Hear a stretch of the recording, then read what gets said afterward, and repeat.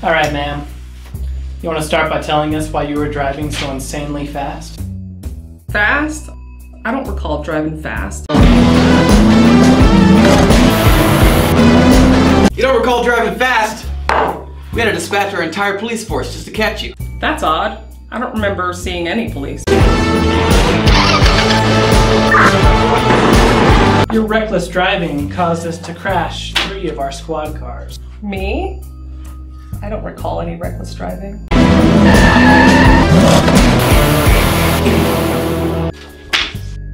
Is this you? Eh, What about this? that's a pretty sweet jump. You recognize that? No one can recognize anything. It's all blurry. That's because you were driving 97 miles per hour. Well, I was in a hurry. You jammed our radio signals. There was nothing on the radio. You slammed through a police barricade. I was using Apple Maps. What is this, some kind of joyride to you? Joyride?